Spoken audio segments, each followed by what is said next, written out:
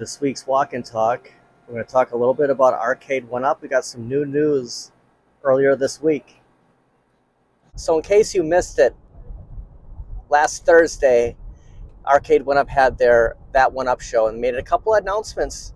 All positive stuff for Arcade One Up. As of recording of this, it's Sunday, February 19th, 2023 a lot of exciting news coming from Arcade One Up, and it's the most that they've shared with us for a long time. I'm gonna run into Kohl's first, see if there's any Arcade One Up stuff left here. It's been, you know, there's a couple different Kohl's that I go to, and each of them had a couple different things in. Just seeing what's left here. We're mid-February.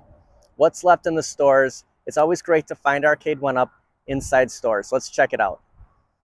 So Cole still has the Mortal Kombat Collectorcade. And if you haven't seen this in person, it's a pretty good size here. It look pretty cool in your game room, just something different. I know these are like 16-bit ROMs,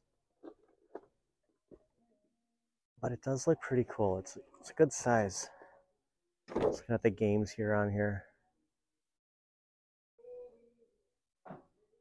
Yeah, they're coming hard to find. It is tempting. Pretty cool looking. Also, these are these keep popping up. I see a lot of these. I don't know if I've seen any reviews on these, but you know, they're popping up in stores. It was nice to see some of these products in store. Pac-Man stress ball. So just some positive note that it looks like the uh, Marvel vs. Capcom 2 online update is shooting for March. So something to take note of. You know, I know it's a sore subject and a lot of people are pretty upset about it, but you know, it's not too far away and I think they're close. You can see that you can chain these two up and play someone head to head. It'd be cool if you could do that on Ridge Racer. I know we've talked about that. You've heard this in the past that it'd be cool to race against somebody if the if the two cabinets could connect. When you thought you've seen it all, Pac-Man soap on a rope. You know, it's just crazy how big the retro gaming has gotten. You know, it's something that I personally look for every time I go somewhere. What can we find? It's good to see these products You got cherry lip balms. This is a true arcade one up, that's for sure. The button layout. It's different. It's kind of got a Capcom layout here. You think with the five buttons for Mortal Kombat, there's six here. Ghost stress ball too to go along with that that Pac-Man stress ball we saw. Pretty cool. It's good to see some other other things here. So they have a couple different handhelds here. You have a Galaga to the back side of here. That's pretty cool. Looks like it's okay, three three AAA batteries and then the Ms. Pac-Man. So we know about the deluxe cabinets, right? The Ms. Pac-Man, the Pac-Man, and the Class of 81. And you know what? I'm going to throw in that MK2. So when they say three new titles that they just announced Thursday night and the potential of one XL, so four new cabinets, I'm going to eliminate those. Pac-Man, the Ms. Pac-Man, the Class of 81, and the MK2 Deluxe. Not going to count any of those as the four new potential. So what do we think those are going to be? Got to be Time Crisis, has to be one, right? And what if Time Crisis is the XL. My opinion, Time Crisis or Street Fighter 2 are going to be that XL. So one of them's got to be. And if Time Crisis was 7.99, maybe Time Crisis is the XL. So Arcade One Up was very honest with us, telling us we're going to get three brand new titles that have not been announced yet. So it's not going to be like a repeat. So, I mean, the, the XL is kind of confusing if we're going to say it's Time Crisis or you know a, a lot of people are pointing towards Street Fighter 2 in an XL form factor it's it's interesting if we're going to go off a 799 price for Time Crisis. But whether Time Crisis is the XL or not, it's a brand new title. What are the other two titles? We know that one of them could be an 80s title. They clearly said we expect to see one 80s title. I mean, what would that be? You know, this is up for debate. It's very interesting. I'm going to stop off at this Best Buy. This is the Best Buy that does not have that arcade one-up kiosk inside of it. We're going to run in here and see if there's any arcade one-ups left for sale. The last time I was here, they did have a couple of cabinets left. We'll run inside and see what's left. We have one NFL Blitz remaining here. And let's see what they're going for. Not seeing the price here for this. Gosh, I want to say it's $4.99 online. Everything else they've had here has sold out. The Turtles in Time. Look at where Turtles in Time was, 315. Simpsons 699 when it was here. I, I hard, find that hard to believe anyone was going to pay that. Terminator 315 is a pretty good price. And the Pac-Man Legacy 449. The NFL Blitz. You know, David McIntosh was very honest with us on Thursday. Travis did an excellent job. I mean, you know, that's the most honest they've been with us really appreciate how the community you got to know a lot of stuff about you know well, what's the future of arcade one? Up there's been so much discussions and people worrying about you know are they in trouble or anything? And you know they're playing it safe. We've talked about this. And eh, you know the announcement of the new cabinets it's really exciting. I mean there's some energy flowing from arcade one up. And you know give these guys some time. We'll see what happens here. It could be a long couple of months till we see something after those deluxe cabinets, because that's probably what's next. You know, I, I was one of those that thought Time Crisis would be pretty soon. And that's why I made the, the plunge on Star Wars when I did. But, you know, we'll see. I mean, the deluxe, I don't want to take anything away from the deluxe.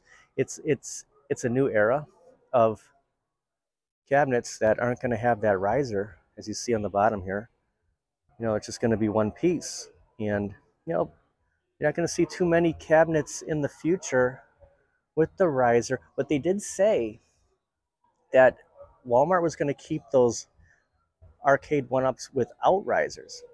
And they were looking at, I believe, a 379 price point going forward on that. So there's a lot of new products coming with them. And it's going to be exciting. I think the next year going into 2024, it's going to be really exciting for Arcade One Up. This Best Buy also has a PlayStation 5 on display. Pretty cool seeing one in person. I this isn't on my radar per se, but I do appreciate it. This is uh, this is a great console, that's for sure.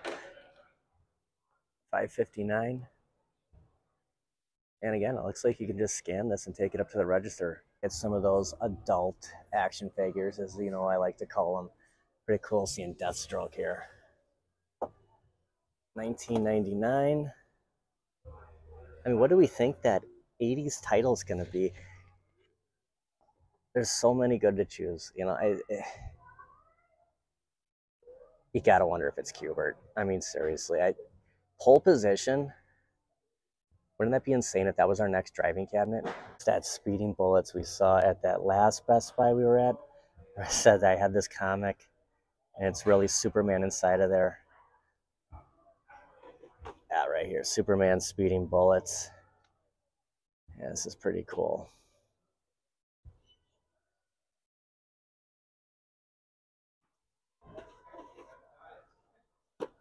Picture of him from the back. So let's just pretend pole position is our driver. Time crisis. What would be the third? What would be the third new title that they have not announced yet? If we're pretending that Street Fighter 2 is the XL. Going back to those images we saw from the Miami location. Remember that Sonic the Hedgehog cabinet, that yellow one? what you know was that just a prototype like what happened with that What else did we see? We saw a tapper cabinet, where it had a fridge in the on the bottom. We also saw, now this is really interesting. Got this Superman right here.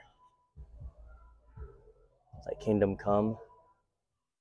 The Kingdom Come logo right here. I'm not familiar with this kind of like uh, Conan looking Superman, but what was that other cabinet? This isn't. This is an interesting one. Double Dragon. You know, they said, well, it's a prototype. And if you remember that Double Dragon cabinet, it had the shape of the battle toads. And that was like the idea that I had. Like, couldn't we get like a download Double Dragon for KI? How cool would that be? What if they were announcing a Double Dragon cabinet in the KI form factor? And that was Double Dragon 2 side art we saw. And they're like, well, you know, was this a prototype? They didn't confirm that. But what if those were our new titles? A Double Dragon? Time Crisis? Possible Sonic the Hedgehog. You know, they might not be saying everything. Maybe they're playing it safe and saying, well, you know, let's give them three. We'll give them three new titles. We'll throw it in an XL just to keep them speculating. But you know, to get like a Sonic the Hedgehog cabinet, trying to gear like, you know, kids to get into arcade one up. I mean, I don't know how many adults. I'm gonna use myself as an example here. My arcade room is packed. So for me to bring in another cabinet, I have to get rid of something or move it. I have to do something. Any of the cabinets, let's pretend it's Sonic and and tapper, whether it's root beer tapper or beer tapper. Regardless what it is, if that's the skin art, whether it has a refrigerator or not, are you going to get rid of any of your existing cabinets to get either one of those two titles?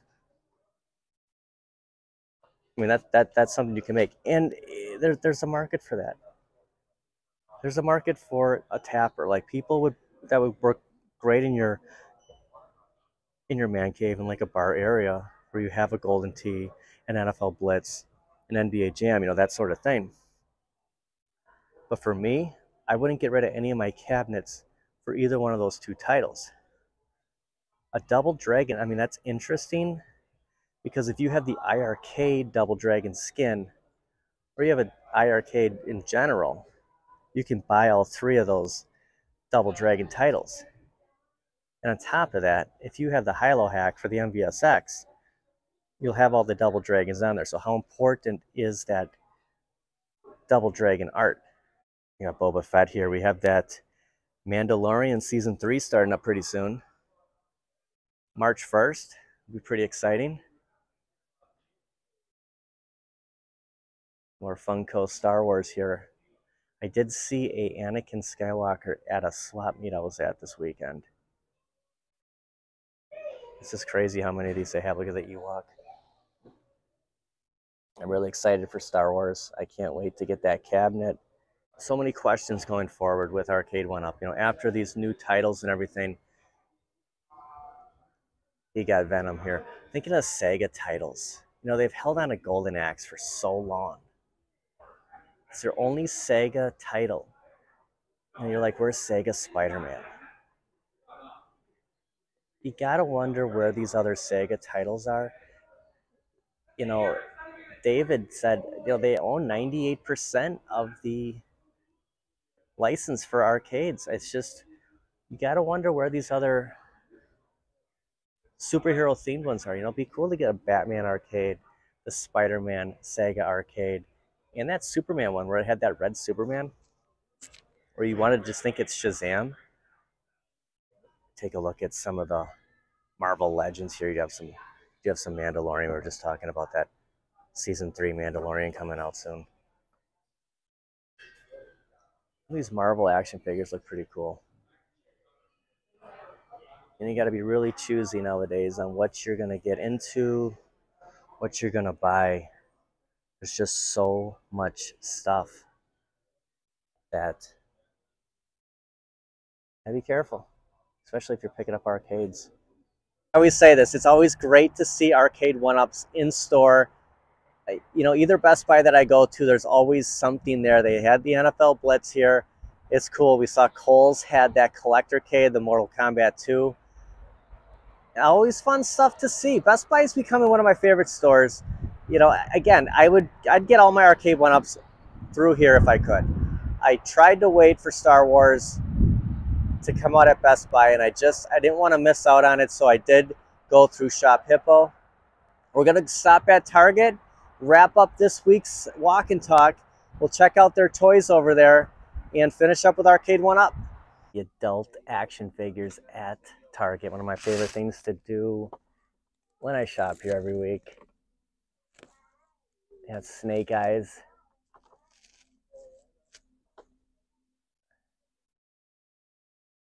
Ninja Turtles. And for anything new here, Got this cool Batman. This is pretty awesome. You can see that lightning behind him.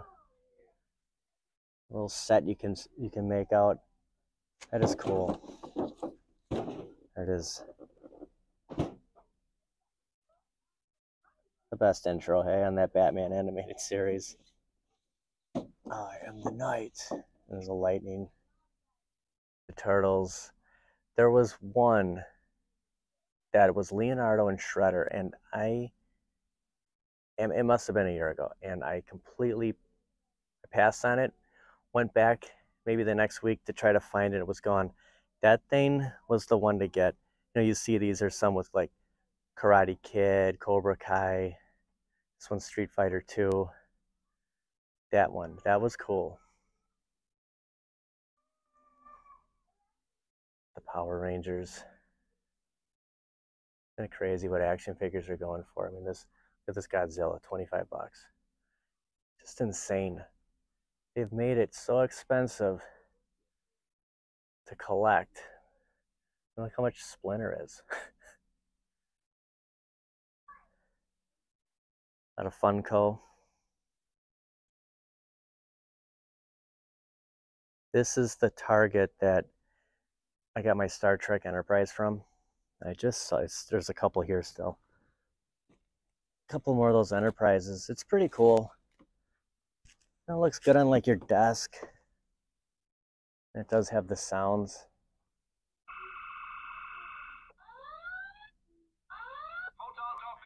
It looks like the Spock from Star Trek 4. That's one of the best ones.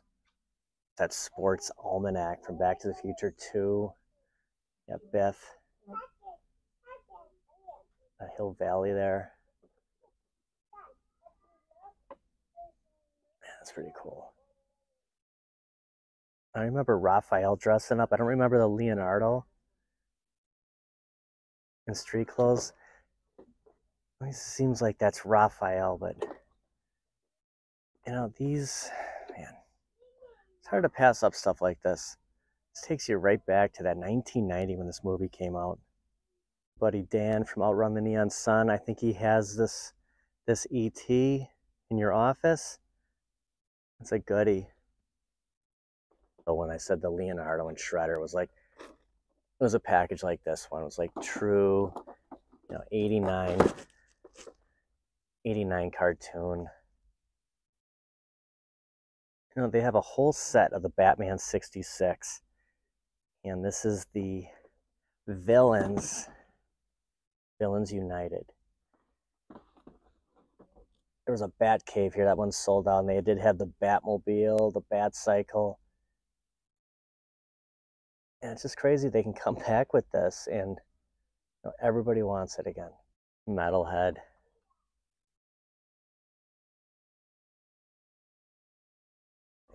Let's look at that detail they put in these. I mean, I you know, I get the 25 $40 price tag on some of this stuff.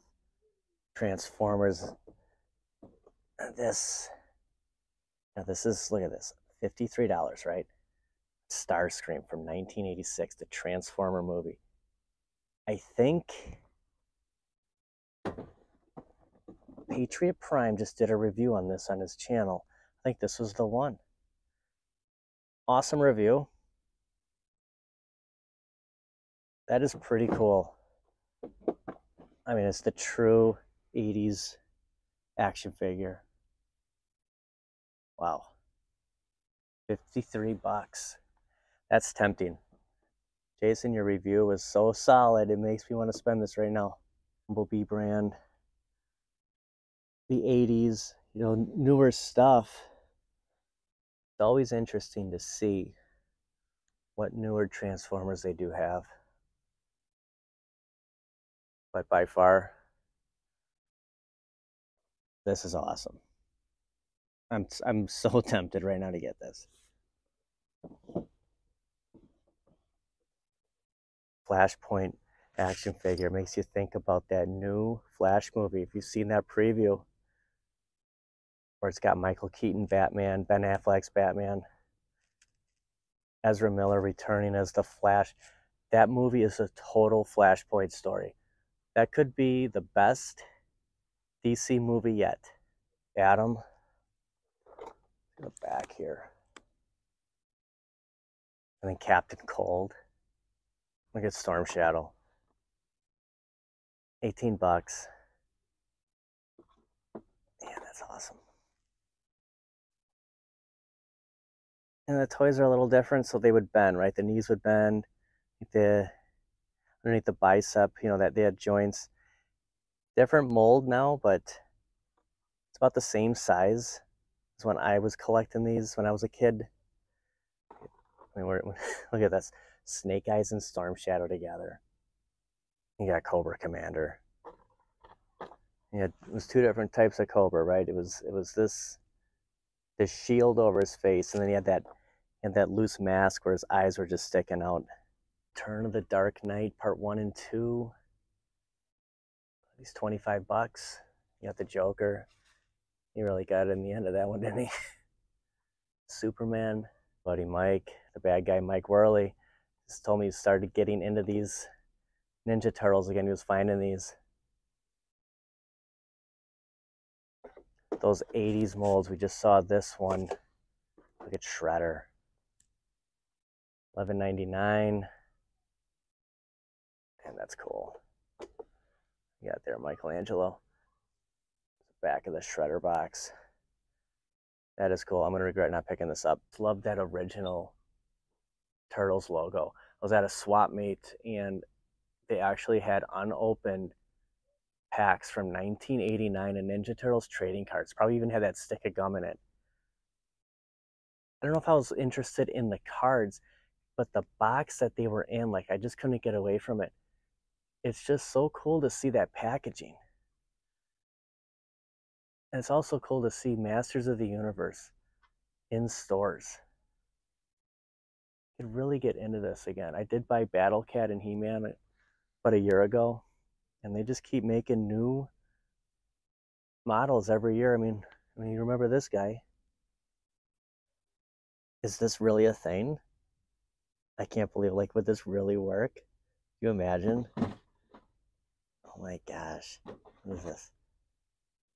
You're running, hands free, talk on the phone, watch something. Like you're really gonna stream with it. This is crazy. I've never seen this. I thought it was a joke. It's a real thing, 15 bucks.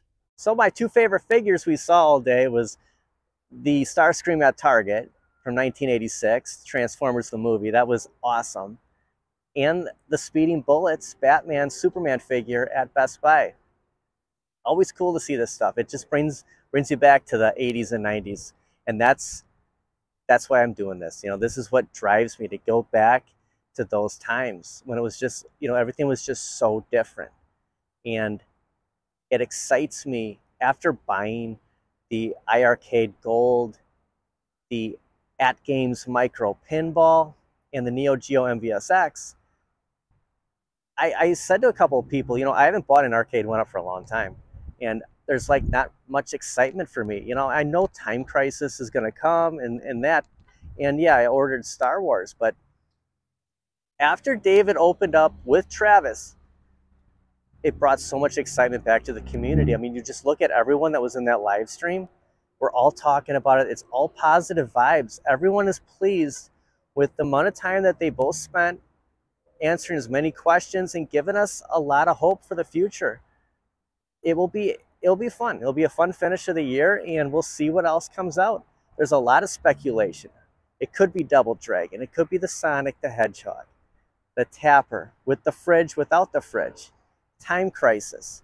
You know, these, and maybe Tapper is that 80s, you know, cab that they were talking about, but how awesome if the next driver was pole position. I just don't think we're at Daytona yet. I think that's, you know, that's going to be pushed back because you put out Daytona. What, what are you going to put out after that to top that racer? I think they're going to hold on to that a little bit. I think you could put a shooter out like Time Crisis and still bring something like Lethal Enforcers, Area 51, and make it so exciting that Daytona is like the top of the top when it comes to racers. So there's you know there's gonna be a lot of speculation on on on a lot of people's shows on what you think these new cabinets are gonna be. Something to talk about, guys. Thanks for checking in. Thanks for watching. I'll see you guys next time.